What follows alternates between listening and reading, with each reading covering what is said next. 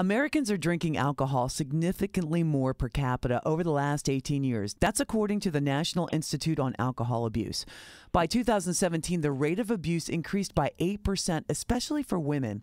Alcohol sales spiked during the pandemic, bringing this trend into the home. For families of alcoholics, this was particularly hard given that alcohol abuse affects the whole family. Al Anon is a place for adult and teen members of a family with a member who suffers from the disease of alcoholism to get support and find effective ways to cope with the problem. Joining me this morning is Idalia Romero, the program outreach coordinator, to talk about their program in Maryland and DC, how you can attend, and how you can support the nonprofit to do their important work. Good morning, Adalia. Welcome to Maryland Perspectives. Good morning, Amelia. Glad to be here with you today. Let's talk about this past year and what Al Anon has seen and heard from the families that you're working with. Is it better, worse? Is it the same? You know, unfortunately, it seems like it's the same. I wish we had more newcomers in the rooms, but we're not really sure exactly what is going on. We're trying to reach out to as many people as we can, and this is a great opportunity for us right now. So thank you.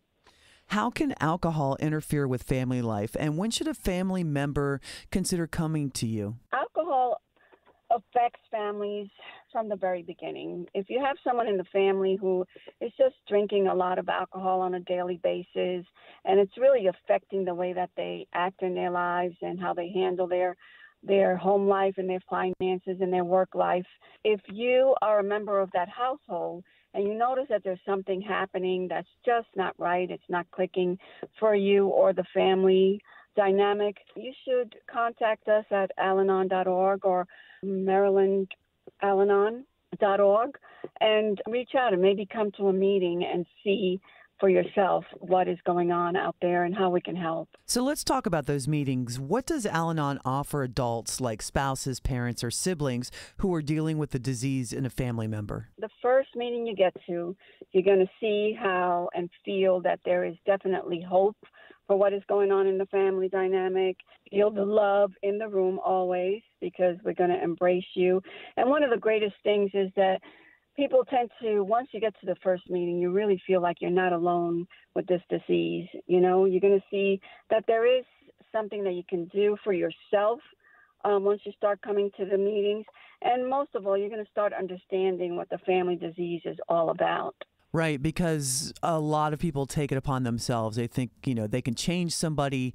I can help that person stop drinking, or it's my fault that they are drinking this much, anyways. And I know with Al Anon, and from talking to Al Anon over the last couple of years, that you can't take that into yourself. And when you do meet these other family members, you realize you're right, that you're not alone. And it's nice. I mean, that, that goes across the board for everything, right? That when you find right. out you're not alone, that you can kind of cope a little bit better. Right, because you uh, immediately you start to blame yourself and say, "What did I do wrong? What am I doing wrong now that this person is doing what they're doing?" So you know, it's just natural for us to blame ourselves initially. But once we see that we really can't control them, we can't fix them, and we really, really cannot do anything about this disease uh, alone for them because everybody has to do whatever they need to do for themselves. But we can help ourselves first. That's right. Are you doing in person meetings again? And if so, will you keep the option of the virtual meetings available for folks? Yes, we are trying to do that. There are a lot of meetings right now that are trying to hold on to that hybrid, what we call hybrid thing. Um, if someone brings a computer to the room, we could have some of those people that can't attend the room still be on Zoom, and then the people that want to be back face to face.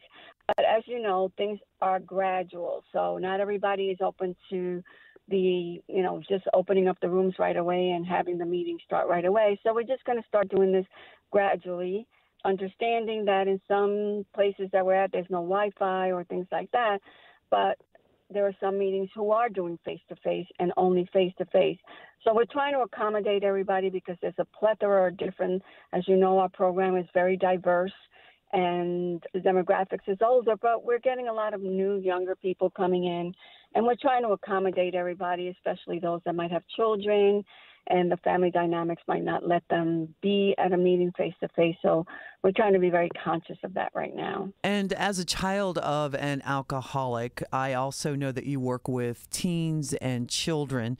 Uh, what can you offer them if they live with a parent or guardian who has a problem? As you know, we have a very, here in Maryland and DC, we have a very strong Alateen program. It's um, one of those programs that we have worked very hard. We train people to be in the rooms with the Alateens. We protect our Alateens. And most of all, we bring information into those Alateen rooms so that the Alateens, again, will know that they're not alone. There are other Alateens, and they're so good at it. They really are. Um, at the beginning, it gets a little bit like, oh, maybe I don't want to do this. But then once they start opening up and sharing with each other and they support each other in such a loving and kind way, it's really, really great. And we have a website actually for that. It's www.alateenmd.com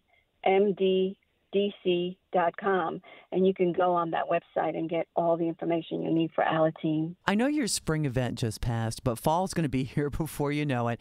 Tell us about the Maryland DC convention on November 5th and 6th. Oh, that's one of our greatest conventions. This year, actually, we are going to be face to face November 5th and 6th.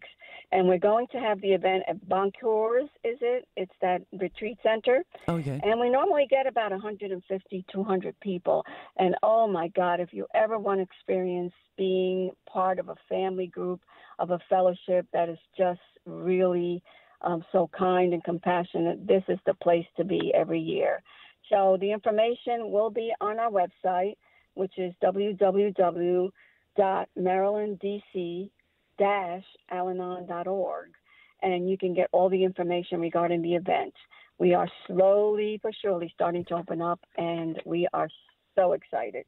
Well, it couldn't happen fast enough either. I mean, I opened up this whole thing by talking about alcohol consumption. And of course, after this, the biggest health crisis in human history, at least since we've been alive, a lot of people turn to alcohol in order to cope. And that's left a lot of families kind of picking up some pieces. So I'm glad that Al Anon is there. And Idalia Romero is the public outreach coordinator of Al Anon uh, for Maryland and Washington, D.C. I'll be sure to include all of those links on our website as well, 98online.com under Maryland Maryland Perspectives.